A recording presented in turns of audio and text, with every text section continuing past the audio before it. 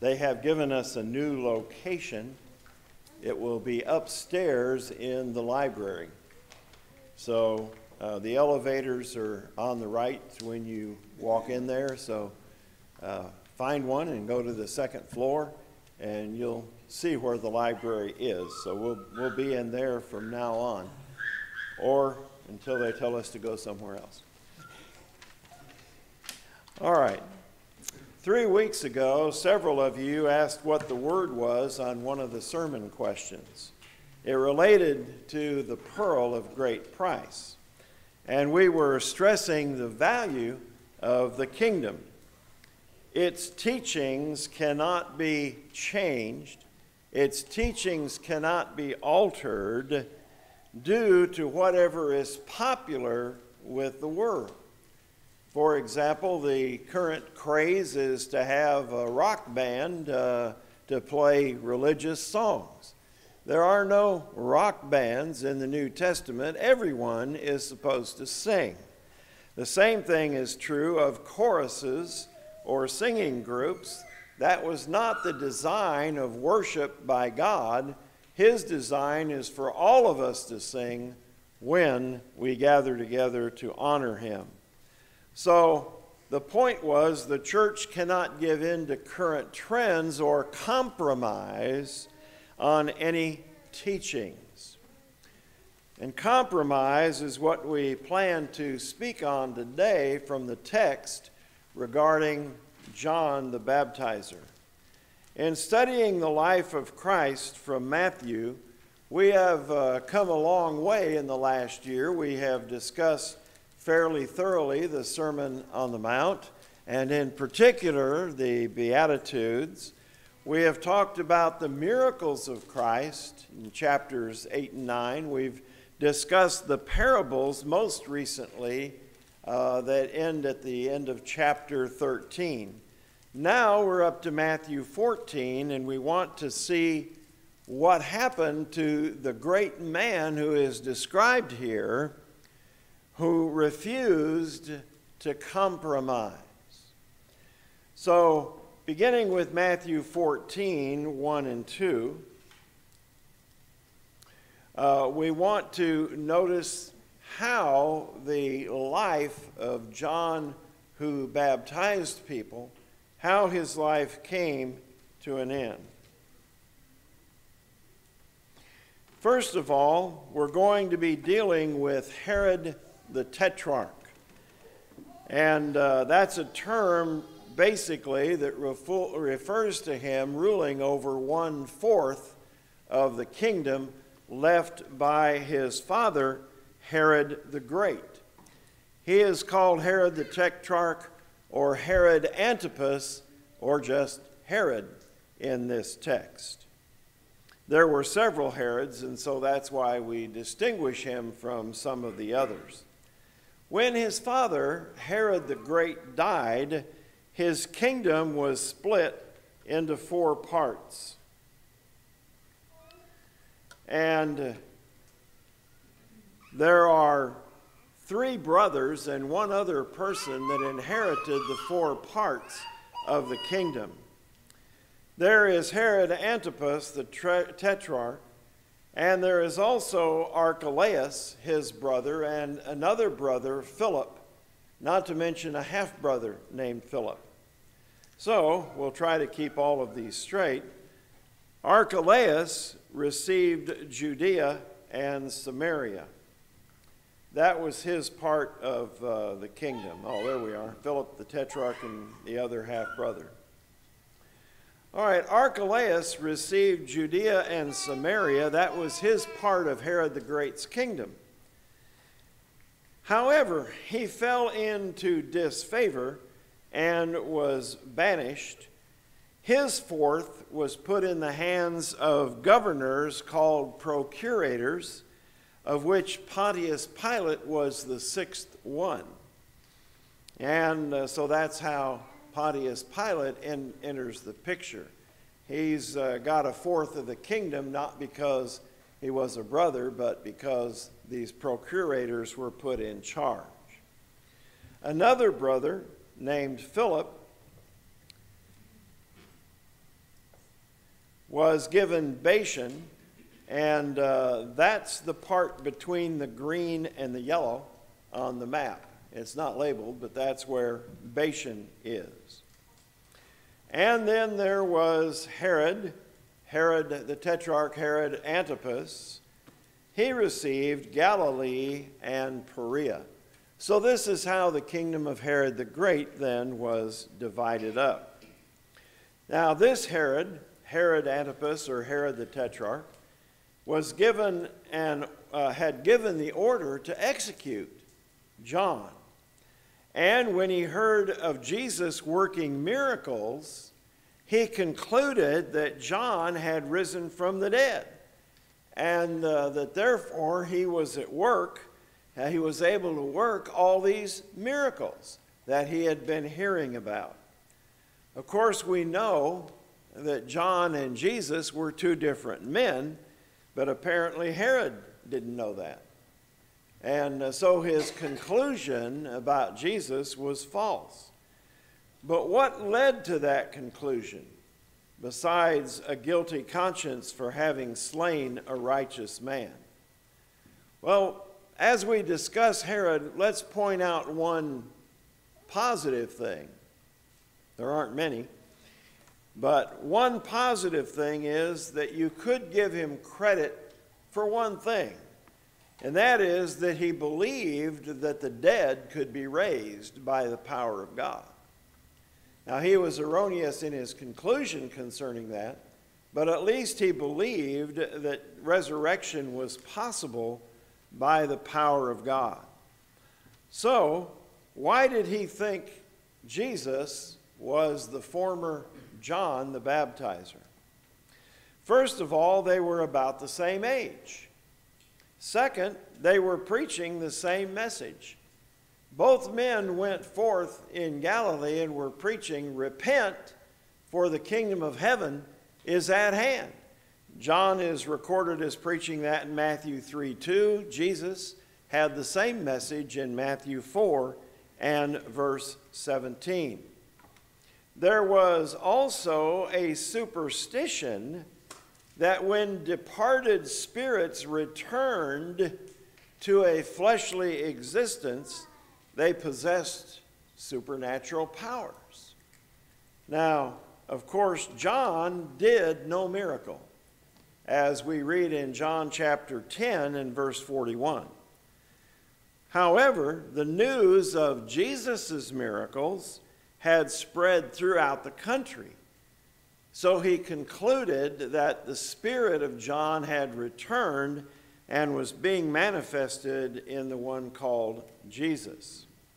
The fourth reason, as already mentioned, is the guilt perhaps, that he felt for having given the order to kill John. Well, now we want to come to John's pronouncement in Matthew 14, 3 through 5. Prior to giving the order for John's death, Herod had imprisoned John, some believe at Machaerus, a fortress east of the Dead Sea. He had done that because of his wife, Herodias, who was actually his brother Philip's wife. We'll get to that in just a moment. But John had told Herod, It is not lawful for you to have her. And uh, we're going to see why. But first of all, we kind of need a scorecard to tell who's who. Herodias was the granddaughter of Herod the Great, which makes her, since Herod is his son, which makes Herodias Herod's niece.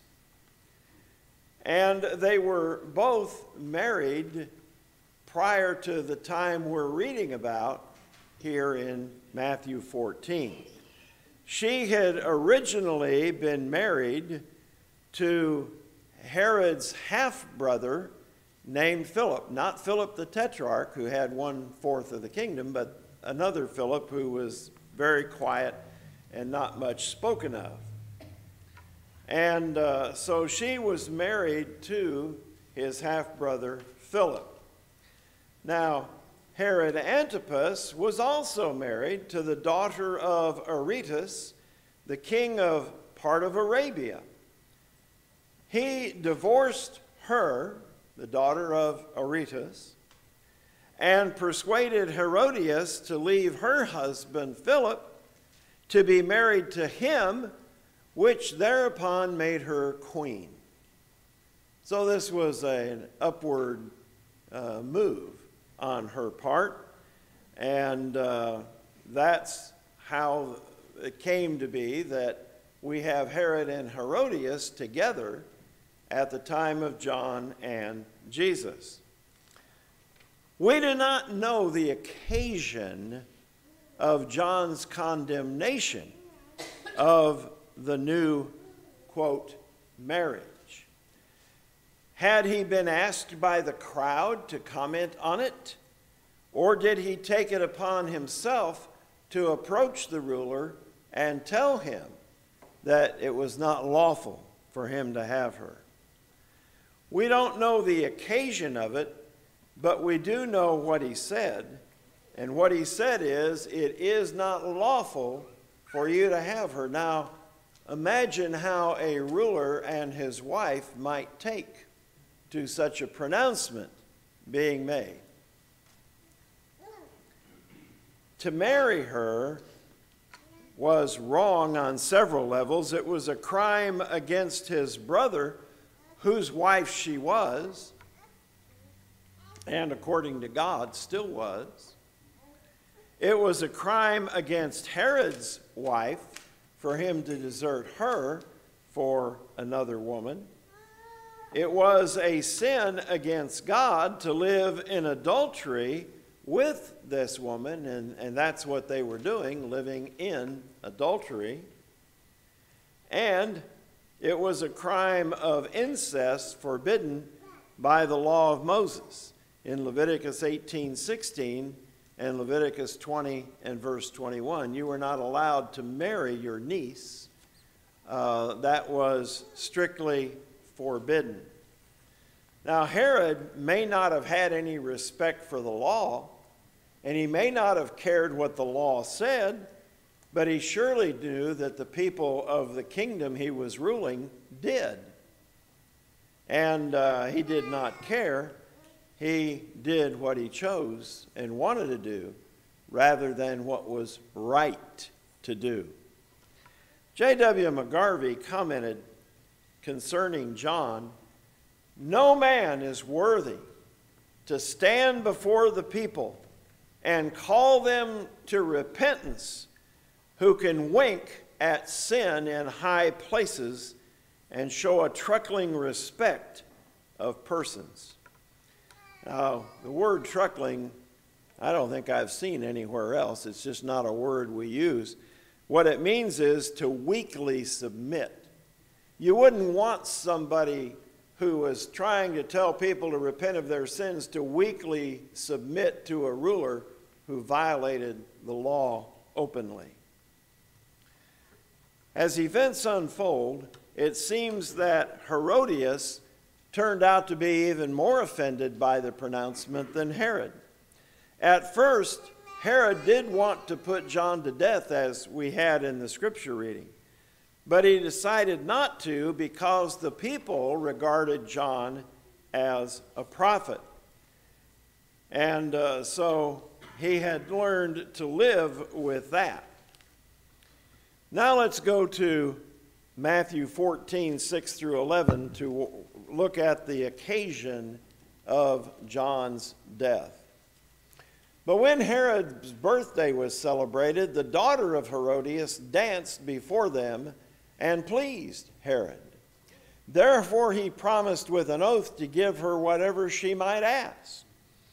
So she, having been prompted by her mother, uh, said, Give me John the Baptist's head here on a platter.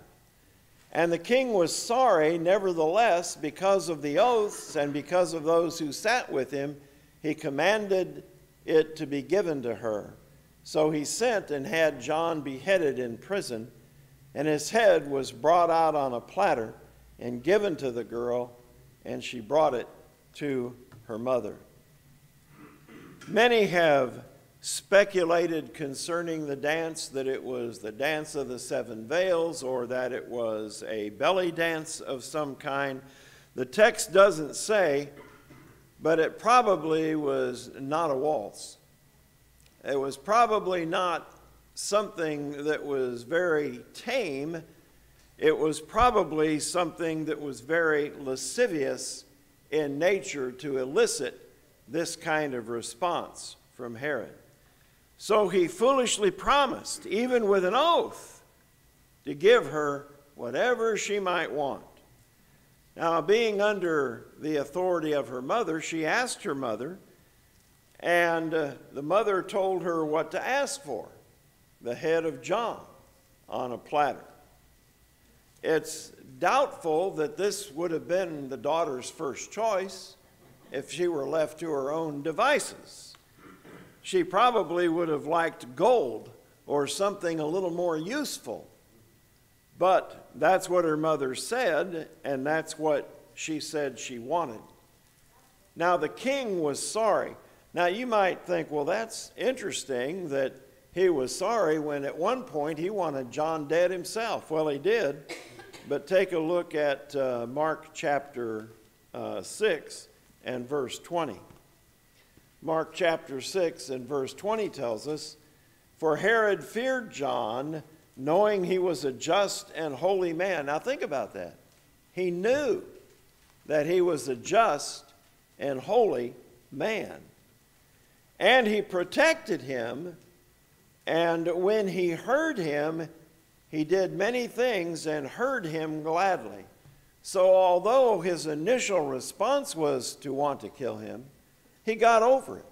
He realized John was a holy and a just man, and he went and uh, heard him speak uh, gladly. So his opinion, the better opinion, won out in his case, and he no longer wanted him dead, but not the case with Herodias. She did not relent as to her initial response. She wanted him dead, and she got what she wanted. So John was swiftly executed mercifully, and his head was brought to the daughter who gave it to her mother. Now let's read uh, Matthew 14 12 and 13. then the disciples came and took away the body and buried it, and went and told Jesus.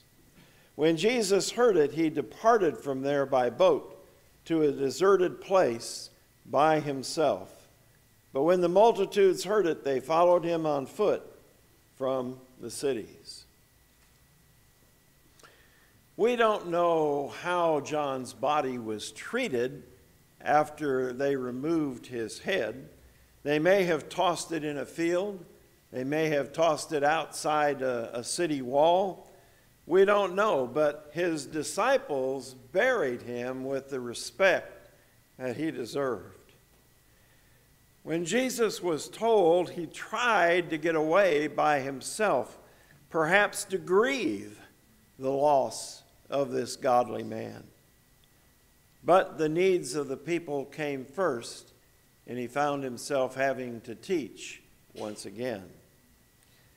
Many people in the world back then and still today believe that results determine whether an action is right or wrong. That is not true.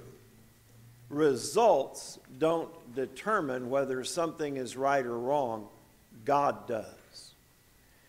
It was right for John to tell the truth concerning Herod and Herodias.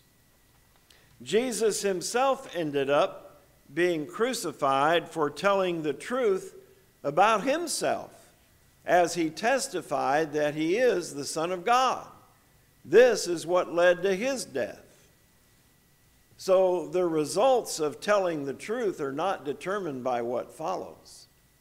We tell the truth because it's the right thing to do, because God wants us to do it, But many people think, oh, well, look at those bad results. They shouldn't have done that. No, they should have. What happened was not the fault of Jesus. The crucifixion was not his fault. It was the fault of evil men clamoring for it. The death of John was not because John said these words, they were truth. It was because of the evil that Herodias and Herod possessed. The guilty couple, Herod and Herodias, did not remain in power long. Herod's wife's father, Aretas, understood that Herod had put her away for another woman. He brought his army against him and soundly thrashed him. As a result of that, Herod fled to Rome, where Caligula banished both him and Herodias to Gaul on a charge of misgovernment. On the day of judgment, John will fare better than his murderers. He will be welcomed into eternal life. They will be ushered into eternal condemnation. All of the results of a person's actions are not seen here on earth. God makes the final decision on that day. Now, notice one other thing before we leave this passage, and that is that marriage is used in an accommodative sense. Let's go back to Mark chapter 6 and notice verse 17. For Herod himself had sent and laid hold of John and bound him in prison for the sake of Herodias, his brother Philip's wife, for he had married her. Now, wait a minute. She's his brother Philip's wife, but he married her. How is that possible? It's possible because the word is being used in an accommodative sense. Herodias was still Philip's wife as far as God was concerned, but he had married her according to our civil laws, or the civil laws of Rome.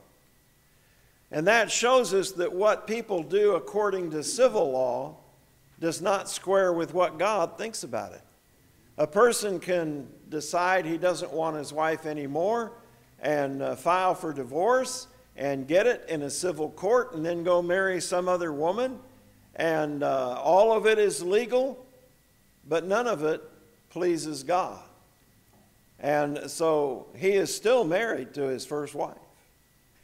He may be married, quote, civilly to someone else, but God didn't recognize the divorce and he doesn't recognize the marriage. Now, this will come in handy as we move our way toward Matthew 19, where Jesus is going to be asked a specific question on this topic.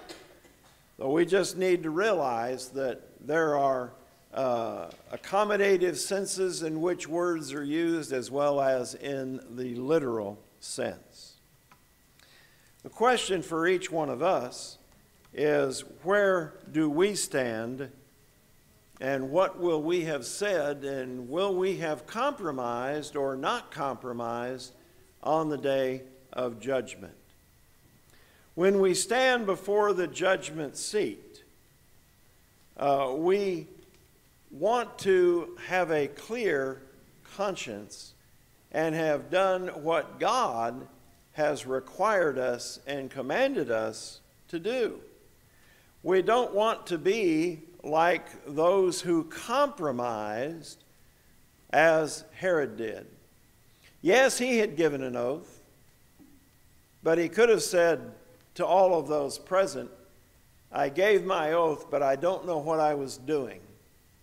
It is not right to, to kill an innocent, just, and holy man, which he knew John was. But no, he did not do that. John, on the other hand, refused to compromise. Maybe he could have sought some way around from making that pronouncement. If somebody had asked him, he might have said, Well, it's not my job to tell rulers what to do. Or maybe he could have said, I, am not going to answer that. But no, he did answer it, and he answered it correctly. It is not lawful for you to have your brother Philip's wife. Are we among those who compromise or those who are uncompromising? We must stand with the truth because God ordains that we should. Speaking of truth, the Bible only gives one plan of salvation. We uh, will be, Lord willing, talking about this in class next Sunday morning. God has taken notice of the problem that man has with sin and the debt of sin that man owes. And He has a plan whereby that sin can be forgiven. And it involves Jesus. And it involves the blood of Christ washing away the sins of mankind. But wait, somebody says, well, how does that work? Because I've seen and read a whole bunch of different things. I know. And there are a whole bunch of different things that are just flat out false.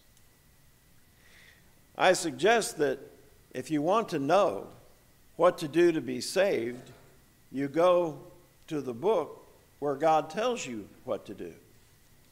And we have several instances where people were saved from their sins.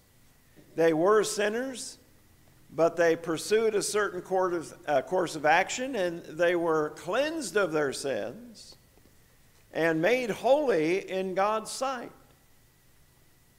But now, what many people do is they run over to Matthew and grab a scripture, they run over to Romans and grab some scriptures, and they run here and there everywhere except where it's described, which is in the book of Acts. And the very first time that it comes up is in Acts chapter 2, when Peter convinced the people that they had crucified the Son of God, but that he had been raised from the dead. And not only Peter, but all the apostles were witnesses of these things. And the people said, Men and brethren, what shall we do? Now, if somebody comes up with a different answer, other than what you read in the scriptures, there's something wrong because the gospel hasn't changed. God didn't give a gospel for the first century and a different one for the 21st century. He didn't give a gospel for men and a different one for women. He didn't have one for the Jews and another one for the Gentiles. The gospel is the one and the same gospel that there has been since this day of Pentecost. And so anybody who comes up with a different answer, you ought to treat as suspect. We go by what the scriptures teach. We're not going to compromise with what some men think. We're not going to compromise with what some theologians say. We're going to go by what the Bible says because that is inspired of God and profitable for doctrine, for reproof, for correction for instruction in righteousness. So, what was said on the day of Pentecost? They said, Men and brethren, what shall we do? Acts chapter 2 and verse 37. Read along. Acts chapter 2 and verse 37, the question is asked. Beginning in verse 38, Peter gives an answer. And here's what he says in Acts chapter 2 and verse 38, Peter said to them, Repent. Now, I'm going to stop there just for a second to point out that uh, yesterday I spent probably three hours answering this guy that wrote Pure Grace who takes issue with repentance. How can you take issue with repentance? But he does. However, that's what Peter said. I don't care how many people say we don't need to repent. Peter said we do need to repent. He told that group of people, You need to repent. But that's not all he told them.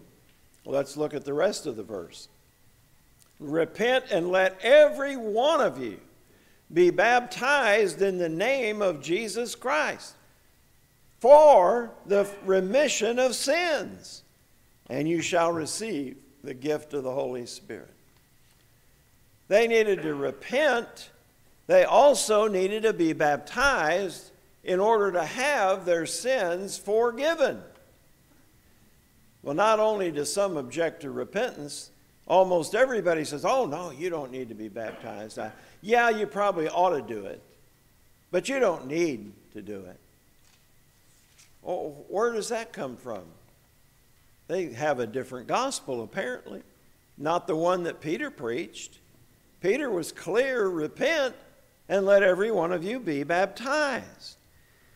And then uh, another thing that is very popular among some people is uh, for them to say, oh, well, if you're baptized, then you worked, you earned salvation. How does such a passive act turn into a work? It's the working of God. And the other people say, oh, you can't do anything to save yourself. Well, let's keep reading. Peter says in verse 39 For the promises to you and to your children and to all who are afar off, even as many as the Lord our God will call. And with many other words did he testify and exhort them, saying, Be saved from this perverse generation. Or as the King James put it, save yourselves from this generation. Yes, you do need to respond. Yes, there is something you need to do. When you do it, you're not earning salvation, but you have a response.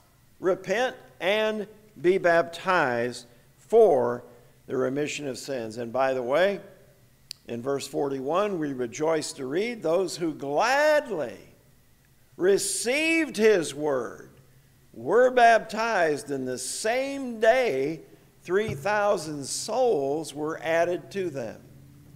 Yes, baptism is essential.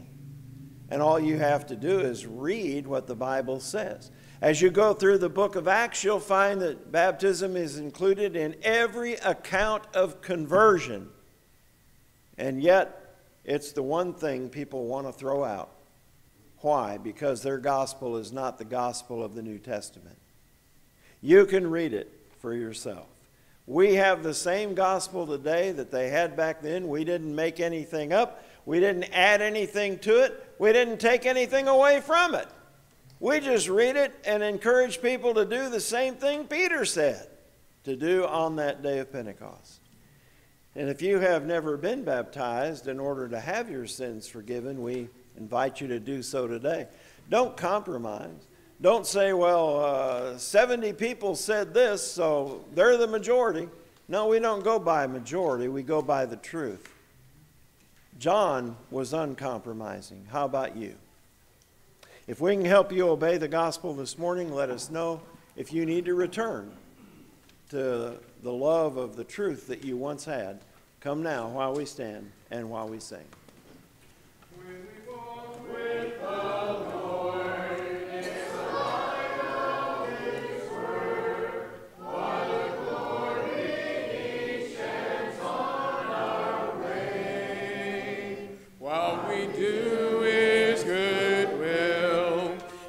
Happy with Jesus.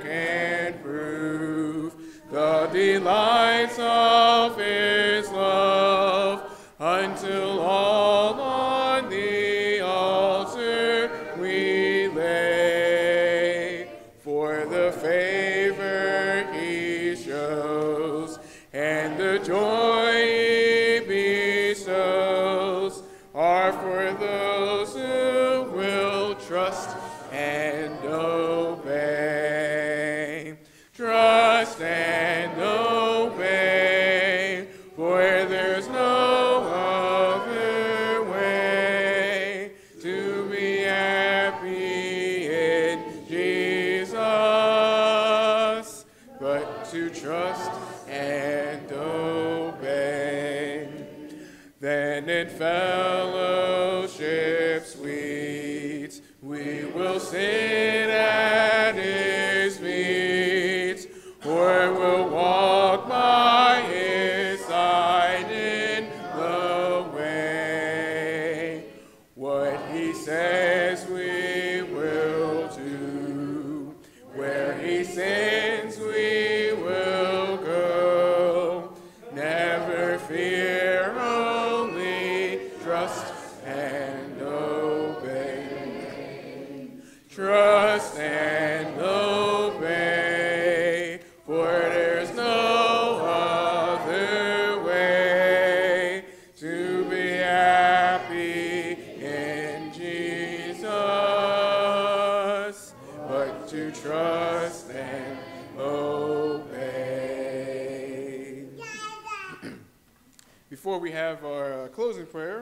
saying hymn number 298.